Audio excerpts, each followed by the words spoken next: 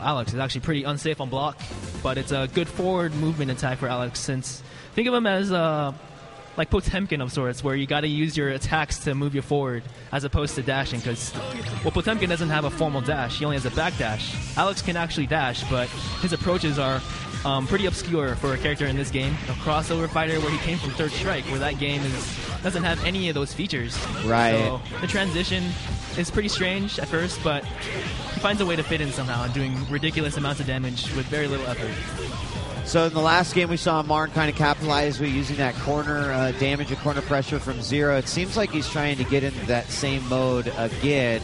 And as I noticed, it's like if Morrigan takes that risk and tries to escape, it just kind of puts you back Yeah. into the loop of terrible damage that you don't want to be in. You got to be extra smart about how you how to deal with your corner situations because some characters can't handle the pressure as well as others. Um, but if you can get out, you know, take advantage. Let your character heal up while uh, maintaining your bars. Because again, the meter is the name of this game, and if you don't know how to manage your meter, it's over for you.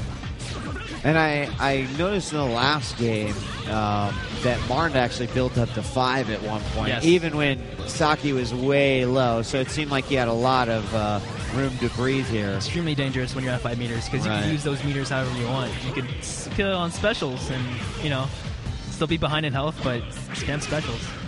Then again, there's nothing really spammable in this game. Um, we, we get baited the mega crash. Oh,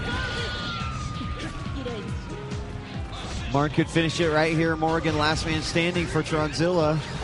doing very well blocking those strings. Not always easy.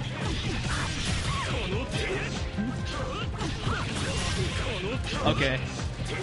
And Zero will, uh, well, I thought was going to get knocked out of there. Ah, Baroques and then Yeah, actually will Baroque into the killing blow. there you go. So Marn's going to take another one, and uh, Royal Flush was just called to the table again.